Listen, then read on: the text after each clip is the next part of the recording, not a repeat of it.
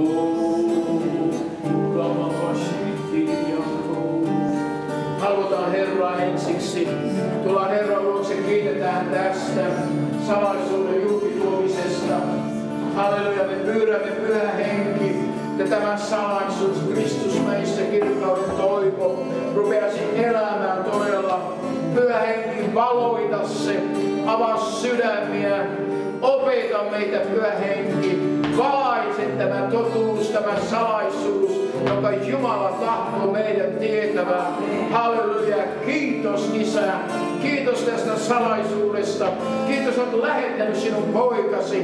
Kiitos Isä tänäkin iltana. Isä, me pyydämme kirkastaa sinun poikasi nimi parantamalla sairaata tänäkin iltana Jeesuksen kunniaksi. Että hänen se sana toteutuisi, mikä on kirjoitettu. Halleluja. Että hän kantoo meidän sairautemme. Hänen haavansa kautta te olette paratut. Isä Jeesuksen nimessä kirkasta tämäkin totuus ja toteuta tämä Jeesuksen kunniaksi. Me pyydämme sitä.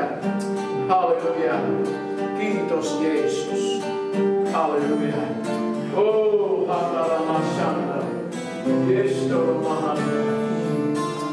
Halvotaan Herraa aluksi. Sinun tarpeesi. Halleluja, jos olet sairas, tarvitset uudistusta, kosketusta, parantumista.